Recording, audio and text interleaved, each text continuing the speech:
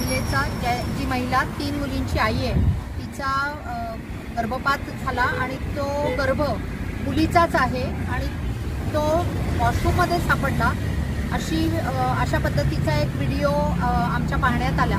त्याच्या संदर्भामध्ये संबंधितांच्याकडे चौकशी केली असता आणि संबंधित महिलेपर्यंत बॅकट्रॅक केलं असताना असं समजतंय की संबंधित महिलेल्या पहिल्या तीन मुली आहेत तो गर्भ पण मुलीचाच होता याचा अर्थ स्पष्ट आहे.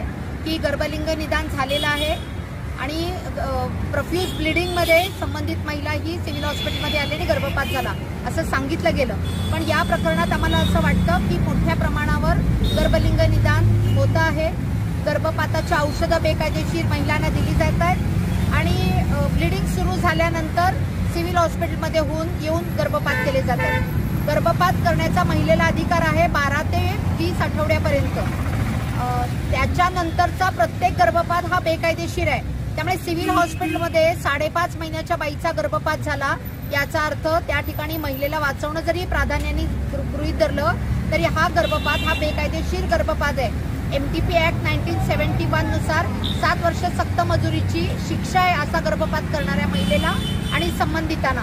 आणि गर्भलिंग निदान करणाऱ्यांना तीन वर्ष सक्त मजुरीची शिक्षा आहे आणि दहा हजार रुपयाचा दंड आहे. अशा पद्धतीचा अतिशय गंभीर असा फौजदारी स्वरूपाचा गुन्हा होऊन देखील सदर घटना ही सत्तावीस तारखेला घडली आणि आज आपण सात तारखेमध्ये आहोत. अशा परिस्थितीमध्ये या बाबतीत संबंधित आशाताई असेल अंगणवाडी ताई असेल प्रायमरी हेल्थ सेंटरचे प्रायमरी हेल्थ सेंटरचे डॉक्टर्स असतील डीएचओ असतील सिव्हिल सर्जन असतील किंवा पीसीपीएनडीटी कमिटीची सल्लागार समिती असेल या सगळ्यांनी या बाबतीत मौन का ठेवलं? ही गोष्ट मुलींची कमी होणारी संख्या आणि स्त्रियांच्या संदर्भातली हिंसा ही अतिशय गंभीर बाब कोविड नाईन्टीनच्या दरम्यान सगळ्या जगभर चर्चा केली जात असताना एवढी महत्वाची गोष्ट अगदी ज्यांनी पीसीपीएनडीटी कायदा चालवायचा आहे त्या जिल्हा शल्य चिकित्सकांच्या हॉस्पिटलमध्ये ही घटना घडली असताना ही गोष्ट एका सफाई कर्मचाऱ्याला बाहेर आणावी लागली.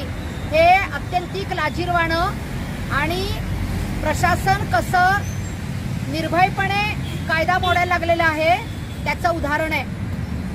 ज्या कर्मचाऱ्यांनी ही माहिती बाहेर आणली आणि तो व्हिडिओ बाहेर आणला त्याला त्याचं सन्मान करण्याऐवजी मुली वाचवण्यासाठी मदत केली म्हणून त्याचं कौतुक करण्याऐवजी प्रशासनाने त्याला कामावरून काढून टाकलं असं पण आम्हाला कळतंय. या गोष्टीचा आम्ही इथे निषेध करतोय. त्याला त्वरित कामावर घेतलं पाहिजे. गर्भलिंग निदान कुठे झालं त्याचा शोध घेऊन संबंधित मशीन सील झालं पाहिजे. त्या डॉक्टरचा शोध घेतला गेला पाहिजे. बेकायदेशीर औषधं कुठून मिळाली गर्भपाताची? याही औषधाच्या दुकानावर कारवाई झाली पाहिजे. आणि या सगळ्याला जबाबदार असणाऱ्या जिल्हा शल्य चिकित्सकांची पीसीपीएनडीटी कमिटी आणि स्वतः जिल्हा शल्य चिकित्सक या सगळ्या प्रकरणाला जबाबदार आहेत. त्यांच्यावरही गुन्हे दाखल झाले पाहिजेत आणि त्वरित त्यांचं निलंबन झालं पाहिजे. आणि असं नाही केलं तर आता जे निवेदन आम्ही जिल्हाधिकाऱ्यांना देणार आहे तीच आमची कायदेशीर नोटीस समजण्यात यावी. पडली तर याच्यासाठी लेख लाडकी अभियान स्वतंत्रपणे न्यायालयात त्या सगळ्यांच्या विरुद्ध गुन्हा दाखल